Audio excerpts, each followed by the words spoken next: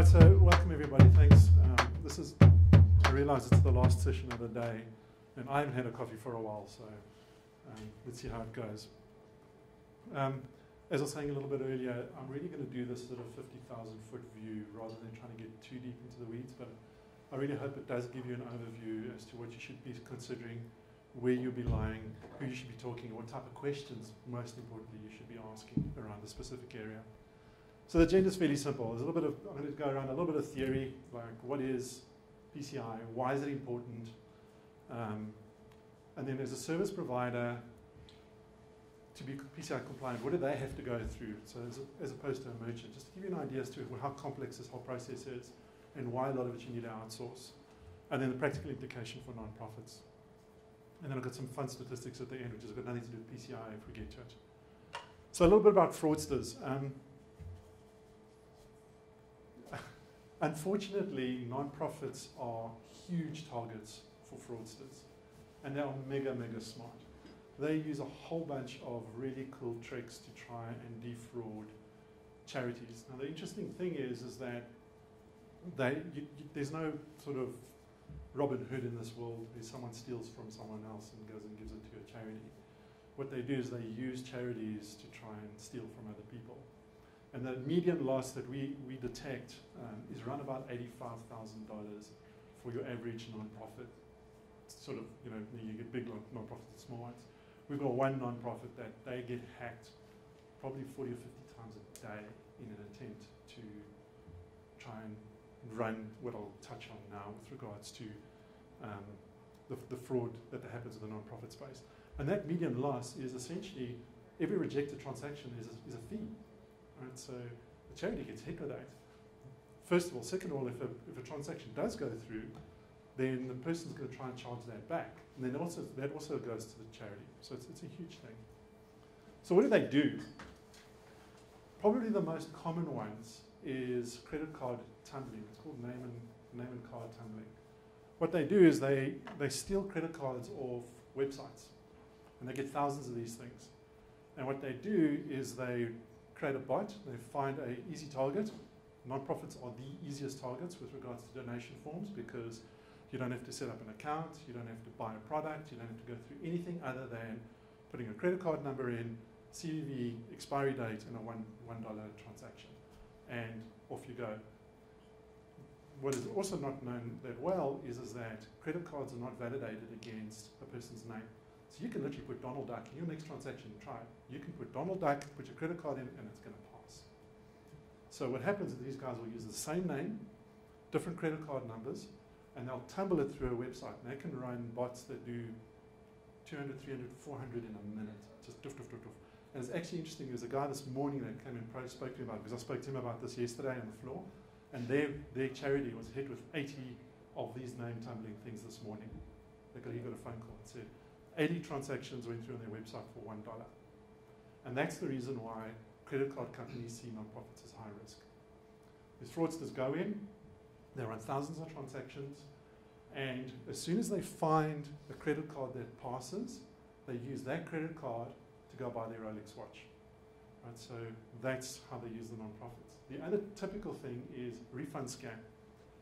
This is just unbelievable what these guys do. So what they do is they put in a $5,000 donation to a charity. They'll phone up the charity and they'll say, um, sorry, I was meant to put in $500. So you can keep the $500, but this is with a stolen credit card, right? So they don't do their own credit card. They, will steal a credit card, they'll do a 5,000 donation, they'll phone you to the charity and say, I'm meant to do 500, can you refund me the 4,500? Please, can you refund it against this credit card? Right, which is a different one, which is their personal one, and that's how they defraud $4,500.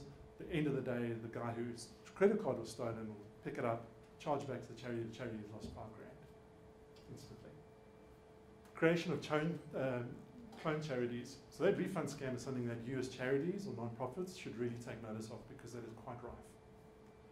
Creation of clone charities is something that we deal with almost on a daily basis, but especially when there's major disasters in the world. So if there's a mudslide in the world somewhere, you won't believe how many charity requests we get to say, we're a charity collecting funds to save this family that was lost in the mudslide. We just get hit with those. And we, we almost set one up. They were so professional. Their bank statements were spot on, their receipts were spot on, the checks were spot on. Everything was fantastic. And it's only when we've gone sort of two levels deep in the directors that we find that there was a fraudulent uh, connection. And it's disappeared. So that's something that we deal with. So that's the main problems that you sit with. So the ways to stop there, there's a bunch of tools out there. Um, there's velocity checking. So this velocity checking is one I've just spoken to you about now. So 50 transactions, if it's the same amount from the same IP address with the same name, it's, it's going to be fraudulent. Just hack it. You've got to look. Sometimes you do get, very seldom, but you do sometimes get families contributing to the same charity at the same time. So it's the same name, different credit cards, same amount, and then it looks fraudulent. So that happens occasionally. So we, ch we check for those sorts of things. But it's very seldom more than four or five. As soon as it gets to 10, then you know there's something wrong. Address verification is a great one as well. It's, the problem with address verification is it's a fantastically blunt tool. The problem with it is, is that if I type in street, but on my bank records it's STRT dot, it chucks it out. So you, I don't know if you've ever been victim to trying to remember the correct street address when there was a payment, when you're trying to donate or pay for something and there's address verification. It is a nightmare. Is there a space in your um, postal code? Chuck it out. AVS is not smart, you're saying? It's not smart at all. And the, the problem is UK is a big one. So P019 space 6YD is typical. Banks will concatenate that without the space. So sometimes it is, sometimes it isn't, and it just chucks it out. Um, CVV2 capability. This is a, if you're doing online donations, make sure that you capture the CVV2 number. Make it a mandatory field. You will not believe how many online payment, uh, online charities or non-profits don't make, don't even capture the CVV2 number. They, basically, it's considered an offline transaction, and there's no verification of that card at all. So be very, very, just make sure if you're doing online, if you're doing batch or you're doing recurring, you're not allowed to store it, so it's illegal to store the CVV2 number. Yes. So the first transaction, the first online transaction that you do, you can, um, you've got to capture, just make sure that that's a mandatory field. Interestingly enough, if it's a MOTO thing, so MOTO, it's not necessary. Right? So you can, lots of times you can phone in, you can give your credit card, you, you don't really need to give your, uh, your CVV2 because they're assuming you are in possession of your card. So therefore, unless a fraudster phones in. But how often are you going to get a fraudster sitting with 50,000 cards and he's phoning charities to check if those cards are valid? Right, so CVV2 is not that important for phoning, but for online it's critical. IP blocking is one of the things we've got in our extension is, is that when a donor donates money, we collect the IP address of that machine and we compare that to the bin of the credit card. So the first five char four five characters of the credit card is called the bin number. And that states the country, the bank that it was originated from, and all those sorts of things. It's a bunch of really useful information. So the chances are very good that it's fraudulent if the bin country of five transactions are American and they're all coming from the same Nigerian IP address, Western European address. So we've got those sort of fraud tools built into the back. And, and I'm going to hop on this a little bit. There's a lot of payment processors that claim they've got fraud tools. Ask them very specifically, is it non-profit fraud tools or is it for-profit fraud tools? For-profit fraud tools are very different to non-profit. They don't worry about bin checking, well, some of them do worry about bin checking because that's actually quite important, but they don't worry about tumbling because the person's not going to go and try and buy an iPad 60,000 times to check verification of the cards. So they tend to have their fraud checking more around e-commerce and stuff as opposed to donations. Um, and then minimum transaction limits. Lots of fraudsters will use $1 or $1.20 or $1.30. Um, just put in a, a, a minimum amount. And then obviously your payment forms. So you get different types of payment forms. Uh, you get an iframe, you get a direct post. Those are the different types of forms. And actually sending the information from that donation form to us as a payment processor, to the payment processor. Can either go via your server or go directly to us. All those things add up a lot with regards to security and especially PCI compliance. But I'll touch on that a little bit later. So uh, this is just a quick screenshot of our fraud tools. They, they come in various selections, but you can see here, enable name tumbling, block these transactions that are for if there's a reject 15 of the same name, different card number that are within 24 hours. So the idea really is you don't want to you want to stop processing. It could be a genuine thing. So you don't want to stop completely block out donation processing on your website. So ideally what this does is that you, you, you as soon as the fraudster enters your site and starts hacking you or, or trying to attack you, make these make these rules very strict, he'll go away. It's just these guys move around all the time. So as soon as he goes away, just release your fraud tools. Just okay, we'll just make him normal again. But here's card tumbling, bin checking, IP settings, so enable IP checking, velocity check, what countries do you want to check on, which ones do you want to compare against, etc. etc. Okay. So I bring this up more not to plug iATS, it's more to say, if you're using a payment processor, just ask that question. It's very, very important. What's the, what's the kind of time frame on that? You say it will go away very quickly. What, how would you by very quickly? What happens is these guys tend to sit in front of their computers and just stare at them. It's like most geeks love watching that little I'm uploading your computer with latest latest stuff. They some of them go away within hours, um, but some of the smarter guys will, will attack a site for two three hours. If they get no success, they'll move to another one, and tomorrow they'll try this one again. So um, it's probably good to keep it up for two three days, and then you'll see the stuff goes away. Cystic fibrosis, which is one of our largest clients, they um, they get tons of these uh, attacks all the time. Switch it on, leave it on for a day or two, switch it off again, and carry on. As soon as they see it, we phone them, they switch it on, so it carries on. So what is PCI? Um, so payment card industry data security standards. Unbeknownst to most people, all merchants, if you've got a merchant account, you are in scope for PCI. It's as simple as that. It's not a case of I'm a small person and all my stuff is shipped off and to some other PCI. You have to be PCI uh, compliant. It's you know that's law. Um, a lot of lot of charities or non-profits who've got a merchant account think, oh, because we only do 5,000 a year, we exempt. You know, if you've got a merchant account, you have to be PCI compliant. The big thing, the nice thing about PCI really is it can be extremely onerous, but the beauty of it is that it creates a fantastic framework to ensure safe handling of credit card data. You really don't want to get breached. If you get breached and you get charged, you get um, fined, it can be a lot of money. But there's also an element of it that's saying, can I sleep well at night knowing that I've got all the processes in place that's protecting someone else's money? Essentially, because you're entering a little bit of a sacred trust. That's how we see it at IATS. We're entering a little bit of a sacred trust to say we are managing someone else's money into someone, some other person's bank account. Let's, let's be good stewards of how we manage this. So PCI really creates, creates a fantastic sort of framework for you to look at and say, am I doing these things? Some, some of them are pretty obvious, but some of them are not so obvious, but they're really good things to implement. Um, enables prevention, detection, and appropriate handling of the incidents, which and then certification helps build donors' trust. That's also a huge thing. You know, just saying I'm PCI certified, everything's good to go. It just gives a huge element of, of you know, um, support or whatever.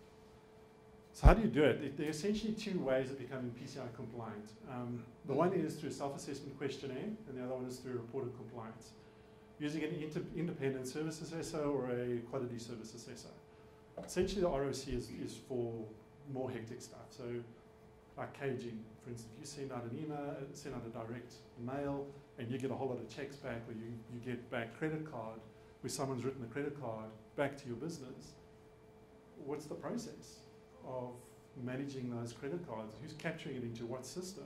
Who's got access to those credit card numbers? Where's it being stored? How's it been destroyed? Etc. Um, etc. Et so PCI goes beyond the system that you're using.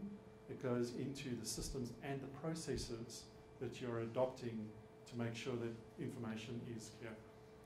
The best way to explain it is you can have a fully PCI compliant Civi CRM on Civi on PCI servers and everything is beautiful, but you're standing in the street corner and you're charging for your lemonade with credit cards, and the person is writing down the credit card numbers on a piece of paper.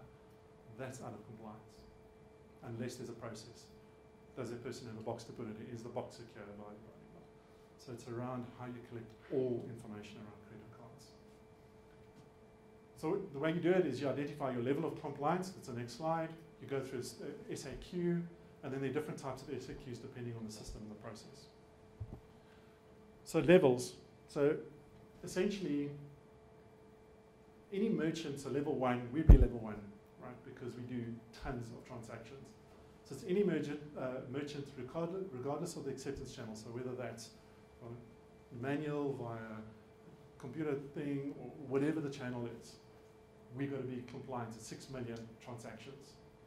One to two, one to six million, level two, level three, 20 to 20,000 to one million. Level four is any merchant processing fewer than 20,000. So to give you an idea, um,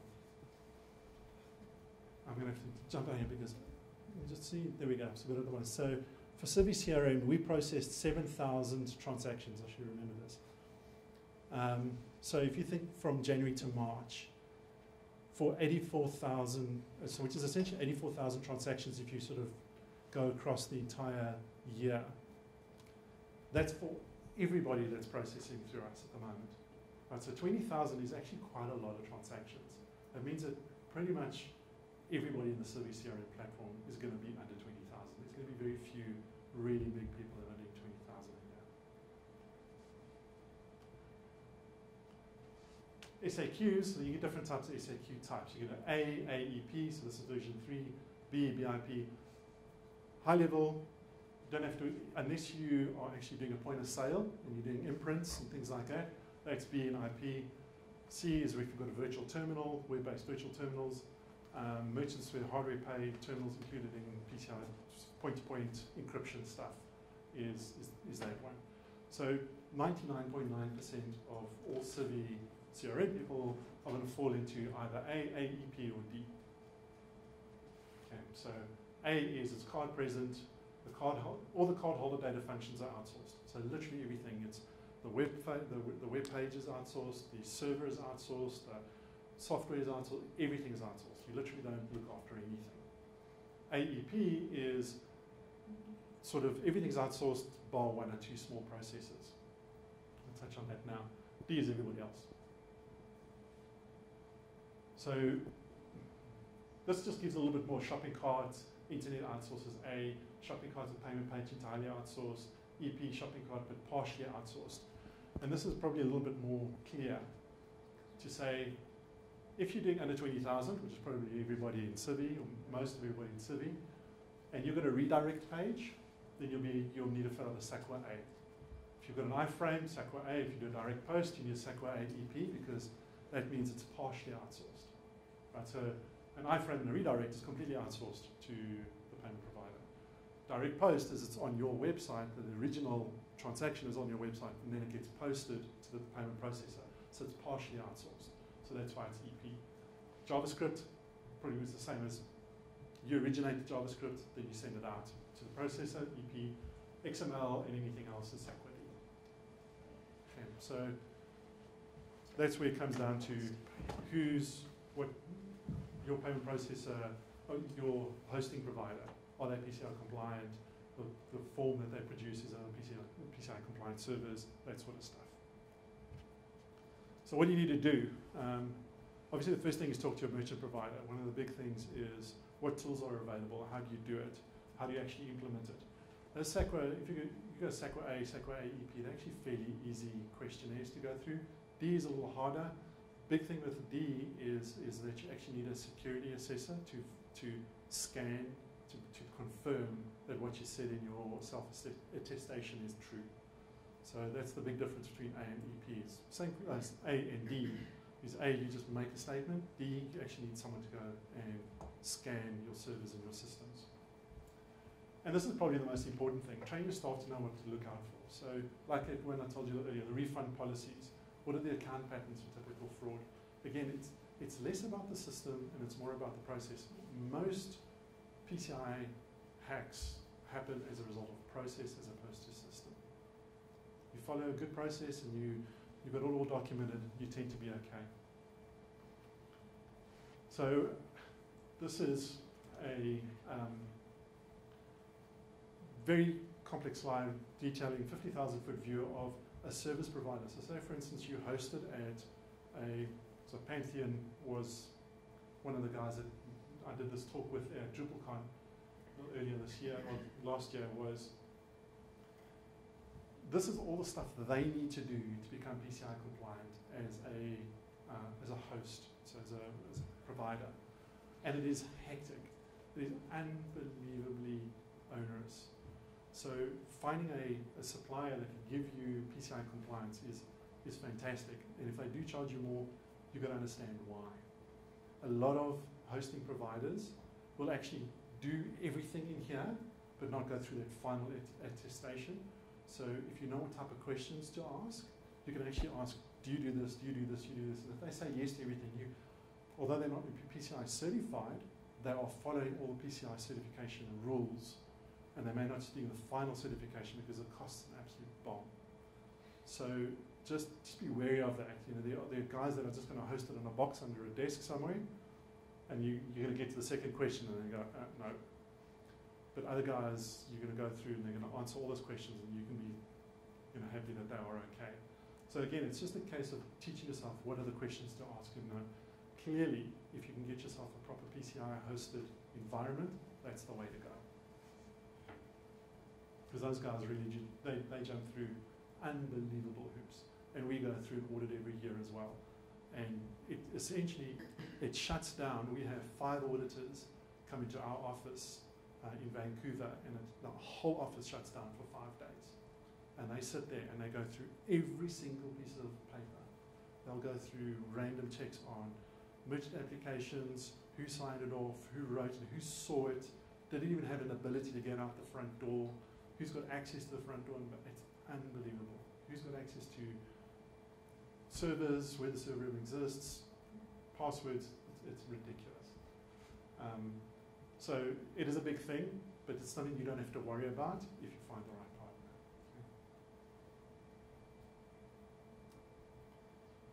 So yes, there is a, there is, you can do this and remain sane. It's, it's not the end of the world. I sort of painted the worst picture there is, but it is possible. But it is important. If you want to keep it really basic, take a basic strategy, outsource as much as you possibly can. Trying to keep this in-house and keep those, keep those things, all those processes and everything running successfully, especially on your systems, is a lot of work and almost a full-time job. See if you can outsource it. Outsource it to um, you know, a hosting provider or an expert who can come in and help you with that as much as you can. Amazingly, it may cost you a fortune up front, it wouldn't, wouldn't cost you a fortune. It may cost you a bit up front, but it can save you a fortune in the long run. Um, minimize as much as you can in-house in things that can affect. If you go through the SACRA A and SACRA EP and the SACRA D, go through that and just learn it, and you'll see the stuff that you can outsource. Minimize the stuff that you're gonna, you want to take on board yourself, and work very, very hard to try and stay in the A and the E um, and then making sure you understand, just learn about it. It's just, it's like taxes. You don't be ignorant about your taxes. Because unfortunately it does bite. But don't avoid it.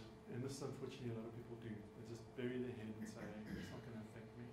Even if you just go through the very basics of understanding the process or the framework, not even even implementing it fully, but understanding the impact of changes, small changes that can have a huge impact, do that. Um, just by the pure common sense of the whole SACRA thing, some policies are just a good idea anyway. Um, don't sacrifice user experience. This is another thing that's a bit of a problem. Is that people will go and they'll buy a system or they'll implement a system that is so onerous that you end up not getting any donors or any users using the thing. And so there is a balance, and make sure you understand that balance. So we've got a bunch of stuff that we can help as well. Dan, actually, I've got a bunch on my table. I need to bring them up here. But we've got a white paper. We've got a, um, you know, sort of basic infographic, detailing the different types of frauds that you get. We've got a white paper on our website that you can look at that details the type of fraud and how you can avoid it. Um, what is PCI? One of the big things you can do is, and I did actually leave this in on purpose, the Drupal one, because it's actually very good, the Drupal PCI compliance.org. It's actually a very, very good website for Drupal users, but it's, it's, you can really use it and apply it within the Civi space as well. And then PCI security standards. Now this one specifically, this link specifically, if you just go to standards.org, it's, you're going to get lost in the quagmire of PCI. But you go to the security standards documents, that one gives you, it's a fantastic, it shows all the documents, it says how do, what is PCI SACWA? What, the, what is version 3? Um, why do you need to do it? And they're really like very easy to digest, two to three pages. PCI have done a good job on that. And lower down, you'll actually see Word documents that you can download, which is your SACWA A, SACWA EP, and your SACWA D um, forms that you can literally read through and work through it. And that's it. If you've got a couple of minutes, I've got some interesting stats that you might enjoy. It's got nothing to do with PCI. Types of donation processing services used. So this is a study that was done by these boys, Campbell Rinker, a couple of years back. But it is actually quite interesting to see the amount of, and this is just non-profit industry stuff, right? So this is not anybody else other than non- non-profits. Uh, 62% is online donations, 30% is recurring donations. So it's quite high. Uh, donations in person, 25%, so that would literally be face to face. Mail check donations, 20%. Um, text to donate, 7%, and international donations. What's interesting is this whole text to donate thing was a, like a huge spike, it was this massive thing, and it fell flat instantly. Don't know why. Is percentages amounts or number of transactions?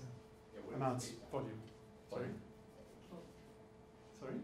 You're saying that online donations make up, well, I'm, I'm, those numbers don't add to learning, so I'm trying to figure out what, what do you, what, So for, Well, the percentages don't add up to a hundred, so we're trying to No, 'cause figure they out could be what both, each right? one's measured. Yeah, like It automatic could be recurring. international and online, right? yeah, What's a, That's fine. what's hundred percent? What's the universe? Yeah, what is the universe? I think there's 3,500 nonprofits that we um, interviewed. oh, these that, these Then nonprofits it's take easy. donations online, Correct. sixty percent take Yeah. donations online. Correct. Twenty percent use, online checks. Correct, so they use, yeah, Okay. so they use payment processing to do recurring. So Sorry, I use payment processing. Sorry, it's I should have explained. My brain going back. So. No, no, no, thanks. I should have explained it better. Some of them can do all these things. Exactly, that's why it doesn't have to Gotcha. hand. That's what we were trying to Okay. clarify. Okay. Okay. Um, So, so you're saying that ninety-three percent don't even try to do text to donate? correct. Um, Do you have any, do you have any trends on that? I'm curious. We're waiting, we're waiting for, no, I wish. No, I, I I'm waiting for these guys and they, they're due to do another research on this again, but it's not out yet. And I think they're, they're hoping to do it next year. That'll be fascinating, um, especially some other slides that I'll get onto just now. Um, this is actually, this was a bit of an eye opener for me, is the number of um, donations that are done that are automatically associated with a uh, um, constituent. So 45% of donations are not related to a donation record in any in, in an, another CRM system. You can't track them. Yep. So it's literally they've got it in the CRM system, but they're donating via their payment processor, but there's no integration. Seen that? Scary that it's so high though. Satisfaction of the services rating. So how satisfied are non-profits with their payment processes? So reliability of service the highest, speed, so the receipt of payment to funding of your account. So in other words, when you make a payment, when a person donates, how quickly does it end up in your bank account? And this is interesting when you start splitting up merchant providers and aggregators who take weeks to get it in. Ease of use, very pretty satisfied. Reporting available. Features provided, 7.1.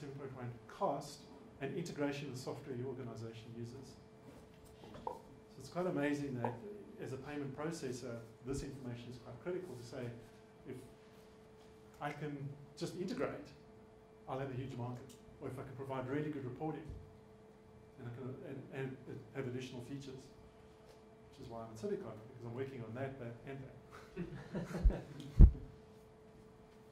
This was also very interesting in terms of the install base versus locally installed versus using an internet solution. So the blue and the orange essentially is smaller nonprofits, and the orange is nonprofits doing more than a million dollars a year, so larger ones. So there's very little difference between small and large, but there's quite a big difference. What was interesting to me is how many are still locally installed, as opposed to fully cloud-based solutions that they are using. Again, this is the one that I want to see the trend on. Solutions used. Um, so this is just a breakdown of the size of the um, non-profits. So out of the number of respondents for this particular one, so it was 3,000. Okay, I'll get to that later. Less than 100k, 7%, 100 to 400. So you can see there's a fairly good spread of non-profits that they, they finally chose. But this is the interesting thing, is the primary solution used. Raiser's Edge, Donor Perfect, GiftWorks, eTapestry, Salesforce, FileMaker Pro, Results Plus, Sage. Now what's interesting is, is that they were asked specifically what payment processor they're using. How many of those? those. They, it's, it's, those are applications. Yeah. And the, the telling thing behind that is, is a lot of non-profits don't actually understand, don't even know the payment processor that they're using. I go to so many shows and they'll look at me and they go, I think we use you, but I don't know. So it's, I mean, that's a significant portion. It's just applications. FileMaker Pro is a processor. Oh, it's Raiser's Edge is not a pro- uh, processor, right? I mean, we process for, for Raiser's Edge. Yeah, right. We do 80% of Raiser's Edge's processing. Um, Salesforce.com, what's interesting is that Salesforce and Salesforce together make 5%. So that's another trend that will be interesting to see over a period of time. Talisma, we, we do all of Talisma's payment processing. So it's just amazing to see how people just don't actually understand that back end. Then uh, DataSnap, DataTrash, Exceed, Fundraiser, Jenzabar, Orange Leap, QuickBooks, Sage Fundraising, Team Approach, and then other. And that is the end of